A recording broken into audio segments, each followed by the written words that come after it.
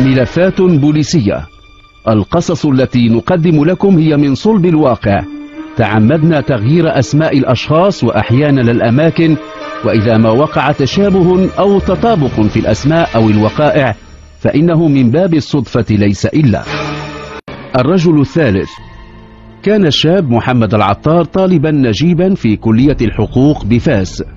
بعد أن تخرج منها في العام 2000 وجد وظيفة ذات آفاق وبأجر جيد في شركة للتأمين بمدينة الدار البيضاء.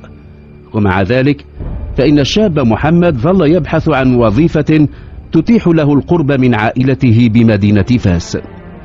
بعث بطلباته إلى مؤسسات عمومية وغير عمومية عدة وكانت الإدارة العامة للأمن الوطني في جملة تلك المؤسسات. تلقى منها ردا تمت دعوته إلى اختبار انتقائي خاص بعمداء الشرطة اجتازه بنجاح ثم بعد استقالته من شركة التأمين التحق بالمعهد الملكي للشرطة. الحقيقة أن محمد العطار طالما كان يحلم بالالتحاق بأسلاك الشرطة. بعد أن قضى عاما كاملا في المعهد الملكي للشرطة عين محمد العطار العميد محمد العطار بمدينة مكناس. بعد أن التحق تم إلحاقه بالمصلحة الإقليمية للشرطة القضائية عادة ما يقضي بها الخريجون الجدد فترة من ثلاثة أشهر. أثناء تلك الفترة أبدى العميد محمد العطار شغفا كبيرا بوظيفته الجديدة وتمكن من التوصل إلى فك ألغاز ملفات كانت في الانتظار. كل ذلك لفت إليه أنظار رؤسائه. ذات صباح نقل عميد الشرطة في مدينة ميدلت على عجل إلى المستشفى. كان من القدامى. ولما كان ضروريا تعويضه فقد تم تعيين العميد الشاب محمد العطار ليحل محله. كان العميد محمد قد تزوج منذ فترة قصيرة. واستقر الرأي على أن تزوره زوجته نهاية كل أسبوع. في ميدلت كان عليه أن يجد سكنا. لم يتيسر له ذلك سوى بعد فترة. سيظل العميد محمد العطار يذكر ذاك السبت الثالث عشر من سبتمبر من العام واحد وألفين. يومها في الواحدة صباحا رن هاتفه. أبلغته غرفة الاتصالات بمقتل شاب بعد تناوله جرعة دواء وأن ذلك حدث بينما كان في البيت حفل انقلب إلى مأتم. نداء الواجب كان أقوى من العواطف ودع العميد زوجته والتحق بالمنزل حيث مات الشاب كان ذلك في منزل عائلة باللحسن كان الأخوان محمد ورضا يقيمان وليمة بمناسبة إبرام صلح بينهما أنهى شهورا من الخلاف حول إرث لعمهما. كان العم عبد الله بن لحسن قد توفي منذ ستة أشهر. ولم يخلف سوى بنت وحيدة اسمها عائشة وأملاكا كثيرة ووصية. أوصى المرحوم عبد الله بن لحسن بأن لا تتزوج ابنته عائشة سوى واحد من ابني عمها محمد أو رضا اللذين ورثا معها ما خلفه من تركات. كل واحد من الشابين كان يطمع أن تكون عائشة وما ورثت له وذاك هو سبب الخلاف الذي كان قائما بينهما. كان محمد الأكبر سنا وقد هدد شقيقه الأصغر بالقتل إن هو لم يتراجع عن منافسته على عائشة بنت العم. وقد تدخل عدد من أفراد العائلة لإصلاح ذات البين بين الشقيقين. وكان الاتفاق على أن يتنازل الشقيق الأصغر رضا عن نصيبه في الإرث مقابل ظفره بعائشة التي كانت من نصيبها ثروة هامة. كان الاتفاق والصلح بين الشقيقين رضا ومحمد مدعاة الحفل الذي أقيم في بيت عائلة باللحسن والذي انقلب فجأة إلى مأتم. كان الشقيق الأصغر رضا يعاني من مرض مزمن منذ فترة. كان عليه أن يتناول الدواء بانتظام. وكان محمد قبل الخلاف وبعد الصلح قد دأب على مراقبة مدى التزام رضا بتناول الدواء. في تلك الليلة حيث حضر أفراد العائلة كان محمد هو من ناول رضا الدواء. فجأة بدا الشاب يختنق. لم يمهل أيا من الحضور للتدخل وفارق الحياة. نقل جثمان الهالك إلى مستودع الأموات. قال الطبيب الشرعي بعد معاينة أولية إنه لا يستبعد أن يكون الرجل مات مسموما. هناك بعض العلامات التي تفيد بذلك ولكن للتأكد من الأمر يتعين تشريح الجثة وافق وكيل الملك على ذاك الإجراء وتقرر إجراء التشريح في الصباح. استخرج الطبيب كل ما كان في معدة الهالك. وضعه في إناء ثم ختمه وأرسله إلى المختبر. قال الطبيب إن الشاب فارق الحياة نتيجة تناوله سما يتسبب في اختناق الضحية والموت في بضع دقائق. عاد العميد محمد العطار إلى المفوضية. كان الوقت فجرا. حرر التقارير التي يتعين توجيهها إلى كل الجهات ذات الاختصاص. تذكر أنه خلف في البيت زوجة. لما عاد إلى المنزل كانت الشمس قد أشرقت منذ فترة. أثناء الفطور تحدث الزوجان في مواضيع مختلفة. كان العميد محمد العطار قد عود زوجته على التكتم حول المواضيع التي يشتغل عليها. الواجب المهني يملي عليه ذلك. أربعة أيام بعد مقتل الشاب رضا توصل العميد العطار ببرقية من المختبر الوطني بالرباط. قنينة الدواء التي تم حجزها لم تكن تحتوي على ما يقابل ما كتب عليها. كانت تحتوي على مادة سيانور القاتلة المادة ذاتها التي استخرجت من معدة الضحية. وجد العميد العطار نفسه الآن في مواجهة جريمة قتل وعليه أن يصل إلى القاتل. تم استدعاء محمد بن لحسن شقيق الضحية الذي كان على خلاف معه بسبب موضوع الزواج من عائشة ابنة عمهما. تم أيضا استدعاء الشهود ممن كانوا حضورا في وليمة الصلح بين الشقيقين. أكد الشهود في محضر الاستماع ما قالوه ليلة مقتل رضا واعترف محمد بأنه من ناول شقيقه الدواء الذي كان الجرعة القاتلة. قال إنه كان يحرص على أن يتناول رضا دواءه في الأوقات المحددة. كل الأدلة تجعل من محمد بن لحسن المتهم الرئيس في هذه القضية فهو المستفيد الأول والأكبر من اختفاء أخيه. سيرثه وسيظفر ببنت العم والثروة التي كانت نصيبها من تركات والدها. قرائن تعززها حقيقة الخلاف الذي كان قائما بين الشقيقين قبل صلحهما. لم تكن أمام العميد العطار خيارات كثيرة. محمد بن لحسن يبدو المتهم الأول في مقتل شقيقه. ولذلك تمت إحالة الملف على النيابة العامة. وضع محمد بن لحسن رهن الاعتقال الاحتياطي. مر شهر. لا جديد في القضية. غير أن محمد بن لحسن دخل في إضراب عن الطعام احتجاجا على اعتقاله. كان يصرخ دون توقف أنه بريء من دم شقيقه رضا. كان يقول لمن يزورونه في سجنه إن العميد العطار سيتحمل وزر موته إن هو قضى رهن الاعتقال. كل ذلك كان يتناهى إلى علم العميد. ولذلك عادت قضية رضا باللحسن لتقض مضجعه وتشغل باله. راجع أوراق الملف لم يبدو له ما يبعد الشبهة عن محمد شقيق رضا. لاحظت زوجته انشغاله. سألته ولم تكن تعودت على التدخل في شؤون عمله. كانت القطرة التي أفاضت كأسه. باح لها بما يشغله.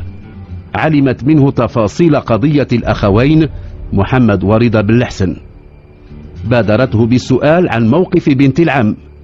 كان السؤال الذي نبهه إلى أن أيا من المحققين لم يسائل عائشة القصة لم تنتهي بعد الرجل الثالث الحلقة الثانية والأخيرة. مر شهر على اعتقال محمد بن لحسن للاشتباه في تسميمه شقيقه الأصغر رضا. كان بين الشقيقين نزاع. كان يتنافسان للظفر بيد ابنة عمهما عائشة. كانت وحيدة والدها الذي توفي قبل ستة أشهر. العم عبد الله بن لحسن خلف وراءه ثروة هامة وابنته الوحيدة ووصية. أوصى بأن لا تتزوج ابنته سوى واحد من ابني عمها محمد أو رضا. وكان الوحيدين اللذين قاسماها تركة والدها. تدخل أفراد من العائلة لإصلاح ذات البين بين الشقيقين. ولما تأتى ذلك أقام الأخوان حفلا عائليا بهيجا. كان رضا يعاني من مرض مزمن وكان شقيقه محمد قد دأب على أن يراقب مدى التزامه بتناول الدواء. أثناء حفل الصلح شاهد الحضور الشقيق الأكبر محمد وهو يناول شقيقه الدواء. كانت الجرعة التي فتكت به. مات رضا دقائق بعد أن تجرع ما يفترض أن يكون دواء. في تلك الليلة أبلغ العميد محمد العطار بالحادثة. اضطر إلى أن يترك زوجته الشابة وحيدة في البيت وانتقل إلى بيت عائلة بلحسن. أربعة أيام بعد الوقائع ثبت أن رضا بلحسن مات بسبب تناوله مادة السيانور القاتلة. كان محمد يقر بأنه من ناول شقيقه الدواء وهو ما أكده الشهود. ولذلك تم وضعه رهن الاعتقال الاحتياطي ولكنه ما فتئ يصرخ وينادي بأنه بريء من دم شقيقه رضا. لجأ إلى الإضراب عن الطعام وكان يقول لزواره إن العميد محمد العطار سيتحمل ذنب موته إن هو قضى رهن الاعتقال. تناهى ذلك إلى أسماع العميد وعادت قضية رضا باللحسن لتشغل باله وتقض مضجعه. راجع أوراق الملف. لم يبد له ما يبعد الشبهة عن محمد شقيق رضا. لاحظت زوجته انشغاله سألته ولم تكن تعودت على التدخل في شؤون عمله. كانت القطرة التي أفاضت كأسه. علمت منه تفاصيل قضية الأخوين محمد ورضا بالحسن بادرته بالسؤال عن موقف بنت العم. كان السؤال الذي نبهه إلى أن أيا من المحققين لم يسائل عائشة في الصباح أبلغ قاضي التحقيق المكلف بملف محمد بن لحسن بما أغفله التحقيق. أوكل القاضي إلى العميد مهمة الاستماع إلى عائشة باعتبارها شاهدة. لما سئلت عمن ترجح أن يكون وراء مقتل رضا ابن عمها وأحد المرشحين للزواج منها لم تقدم جوابا شافيا. بدا للعميد أن الفتاة لم تضيف جديدا إلى الملف. ولما قامت تهم بمغادرة المكتب دفعه فضوله إلى سؤالها عما تنوي القيام به في شأن زواجها. الآن وقد مات رضا واعتقل محمد الذي ربما قضى بقية عمره في السجن بتهمة قتل شقيقه. قالت هناك ابن عم ثالث كان تقدم لخطبتها وهو ابن عم لوالدها. اسمه العائلي يختلف عن اسمها. اسمه عبد الرحمن الحسني يعمل في مختبر شركة المعادن. لما انصرفت عائشة إلى حال سبيلها كان العميد العطار موقنا بأن ما فاهت به الفتاة قبل قليل يفتح بابا جديدا للتحقيق حول مقتل رضا بالحسن فضل العميد أن يجمع كل المعلومات الضرورية حول عبد الرحمن الحسني قبل أن يستدعيه للاستماع إليه عاد العميد إلى مقر إقامته أبلغ زوجته بأنها كانت محقة فيما اقترحته وأن الاستماع إلى عائشة مكن من فتح باب جديد للتحقيق. ألزم العميد زوجته بكتمان الأمر. مساء ذلك اليوم كان مدعوين لحضور حفل عيد ميلاد الطبيب البيطري.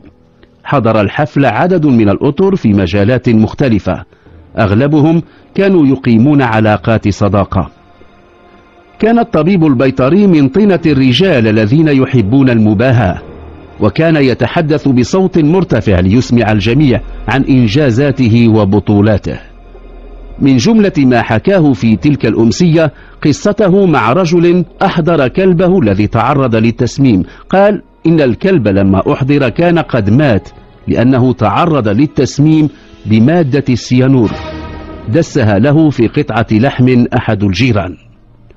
السيانور إنها المادة القاتلة التي كشف التشريح عن وجودها في معدة رضا باللحسن في الغد تنقل عميد الشرطة إلى عيادة الطبيب البيطري.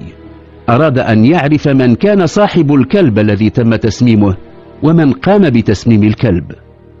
كان جواب الطبيب البيطري كافيا.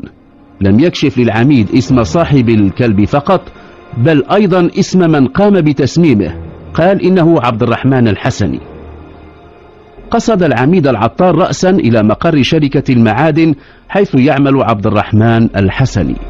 علم أن الرجل يعمل مسؤولا عن مخزن المواد التي تستعمل في غسل المعادن الخامة. عبد الرحمن الحسني كما علمنا من عائشة هو ابن عم من الدرجة الثانية. كان ابن عم لوالدها ولكنه كان أيضا ممن تقدموا لخطبتها. استحضر العميد كل تلك المعلومات ليخلص إلى أن عبد الرحمن الحسني ممن لهم مصلحة في موت رضا بالحسن ولذلك يتعين إخضاعه للتحقيق. أبلغ العميد قاضي التحقيق بما جد في قضية مقتل رضا بالحسن وطلب الإذن بتفتيش منزل عبد الرحمن الحسني فكان له ذلك. فضل العميد العطار أن ينحو منح المباغتة. نشر حول البيت عددا من أعوان الأمن. ولما وصل عبد الرحمن الحسني إلى باب منزله باغته العميد الذي التحق به عدد من أعوانه. فتح الباب دخل العميد ومساعدوه ومعهم عبد الرحمن في المطبخ اكتشفت عدة علب تحتوي على مادة السيانور.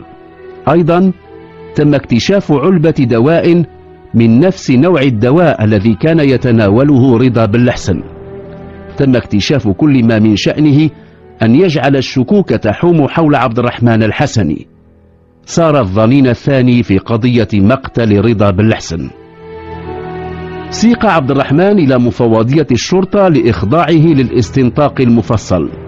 أقر وما كان أمامه هامش كبير للمراوغة بأنه من قتل كلب جاره وأنه من غير محتوى علبة دواء رضا ودس فيها مادة السيانور. قال إنه كان يريد أن يصفو له وجه عائشة بعد أن لم ينل شيئا مما خلف والدها. كان عليه أن يبعد الشقيقين عمد إلى دس السيانور في الدواء الذي ناوله محمد لأخيه رضا على مرأى من الحضور ظن أنه أبعد الشقيقين رضا ومحمد إلى الأبد الأول بالموت والثاني بالزج به في السجن لما بقي من حياته.